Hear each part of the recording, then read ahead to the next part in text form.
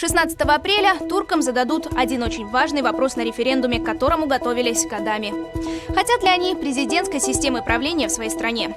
Что это будет значить для Турции? Если более 50% скажут «да», многие полномочия турецкого парламента перейдут к президенту, а вместо премьер-министра появятся вице-президенты.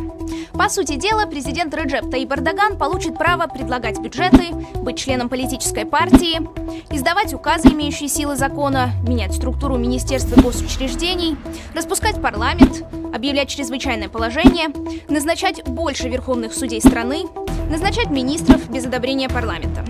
Наконец, изменения в Конституции также обнулят формальные сроки правления. Это позволит Эрдогану остаться на посту президента до 2029 года. Сторонники реформы утверждают, что сильный президент восстановит необходимую стабильность и укрепит Турцию во время, когда страна сталкивается с внутренними и внешними угрозами.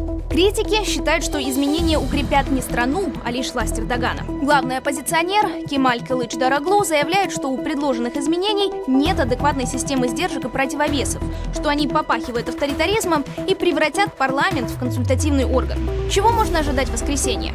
Можно лишь догадываться. Согласно новым опросам, «за» собираются проголосовать примерно столько же людей, сколько и против, а каждый шестой турок еще не определился. Наверное, поэтому сторонники реформы так сильно агитировали за нее среди трехмиллионной турецкой диаспоры в Европе. Результатом референдума могут стать самые важные изменения в турецкой политике с момента основания страны в 1923 году. Как вы думаете, какой путь выберет Турция?